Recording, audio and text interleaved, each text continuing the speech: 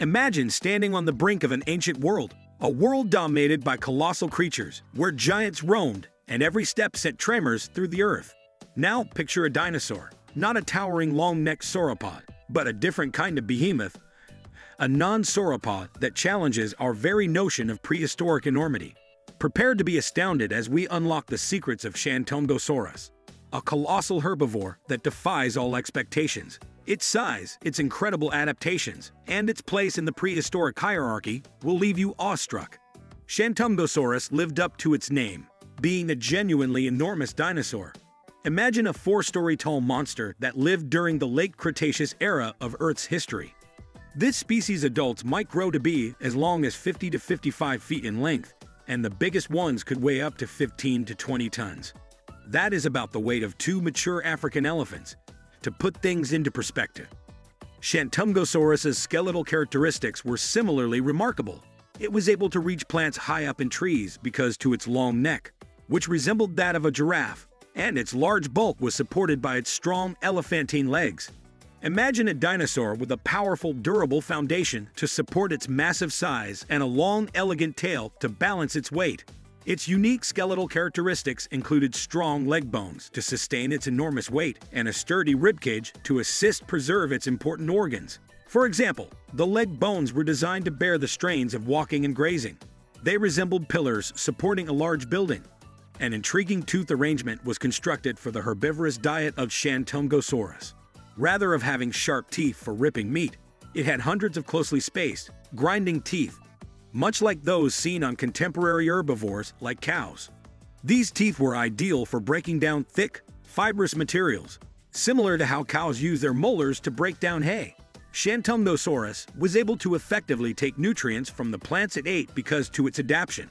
It used a kind of fermentation in its multichambered stomach, much as cows do, to break down the plant material and extract nutrients. Because of this, the dinosaur was well suited for a diet that was mostly composed of plant matter, demonstrating the amazing ways that nature gives animals the tools they need to flourish in their specific ecological niches.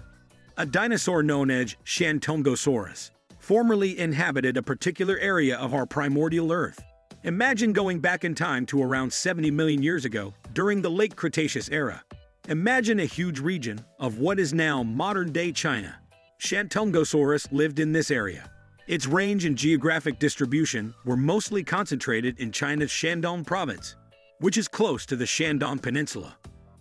Rich marshes, rivers, and an abundance of flora characterize this area, providing these enormous herbivores with a perfect environment. The Shandong area had a rich and varied ecology, which was home to Shantungosaurus. Imagine a landscape full with various ancient species, in addition to enormous dinosaurs. Alongside ferocious predators like tyrannosaurs, you would encounter lesser herbivores like hadrosaurs. The terrain was made up of thick woods, meandering rivers, and vast floodplains. The dinosaurs of that era had a plenty of food and shelter to be found in these wetlands and woodlands. These areas' abundant foliage provided food for the herbivorous Shantungosaurus.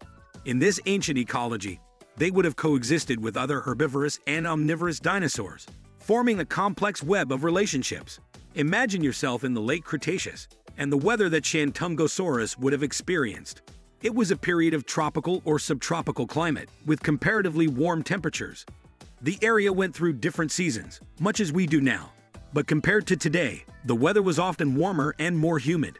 The development of rich vegetation, including towering coniferous trees, ferns, and floral plants, was facilitated by the warm and humid atmosphere.